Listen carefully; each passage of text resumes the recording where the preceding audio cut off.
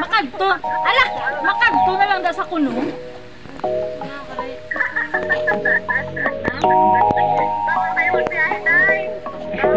Wala. Wala passport.